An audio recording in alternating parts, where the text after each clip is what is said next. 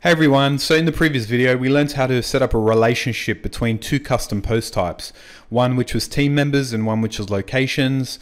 We created a team member and that team member was associated with a location which is called Sydney and then the location is there and if we click into Sydney you'll see the, the information in there which was then being displayed on the actual team members page.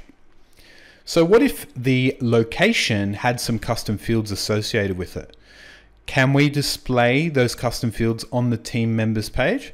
Well, let's try it out. First thing we can do is go to custom fields and then let's just create a new field group. We'll call it location information. And inside there, we'll just do a field and we'll call it address. And that will be where, you know, you can type the address of the location. So then we can link this field group with a page. Uh, what are we looking for? Page type? No, we're looking for post uh, custom post type. Okay, there we go. And we link it to the location custom post type. Click on publish and then go to locations, click into Sydney, for example, and edit the post. And you'll see the address is there now. So I'm just going to do 10 Test Road, Sydney.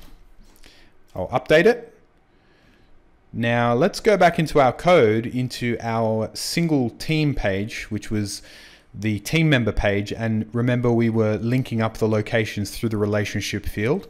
Let's see if we can actually just do PHP the field address. And hopefully this will actually echo out the address of that specific location. So let's go to team members and go to view. And you'll notice it's not actually coming up. And the reason why is because Advanced Custom Fields has a little feature that we need to add into this loop to be able to grab that data. It's called setup post data. Essentially, it's going to be overriding the post object of this specific page, which is the single team page, and then grab the data out of the actual loop using the post object and overriding the post object. Okay, so let me explain it. The we've we've got the location relationship data and we've put it in the variable called loc locations, and then we're doing a for each loop. So for each locations as location, but instead of calling it location, we call it post, and that is actually going to override the the variable that's kind of automatically set up when the page loads called post as well.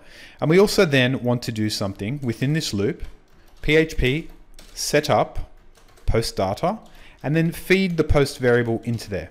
And that will make it possible to grab the data out of each loop and grab the data of that post and be able to use the native WordPress functionality. For example, so let's take this out. So now the page is going to be just blank again. We could do PHP echo the underscore title. So that is the like the function in WordPress that just echoes out the title. You would never have been able to do that if you didn't do this. So let's take that, this away and take and make it location again and then hit refresh. And it's actually going to use the post data or the post object that's initially loaded, which is this actual page.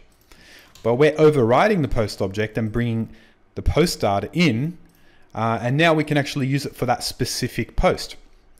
And then what we can do is we can do PHP, the field address. And that will allow us to automatically use the field function with ACF inside the relationship as well. So let's refresh it. There you go. So now you can basically use every aspect of that specific post or related post inside the inside a loop. So that's very, very powerful. So now you can actually include custom fields within that. The last thing you want to do is you want to reset the post object. The reason why is because if, if I go out of this for each loop and I do PHP echo the title, so we're not in a loop anymore, we'll refresh it, you'll see it still says Sydney. What if we want to mention the title of the page again? We need to reset the loop so then we can go back to using the standard original post object, which is WP underscore reset underscore post data. And then now if we refresh and save, you should notice that the title that gets echoed out is the title of the page once again. There we go. Okay, so I hope that helps and I'll see you in the next video.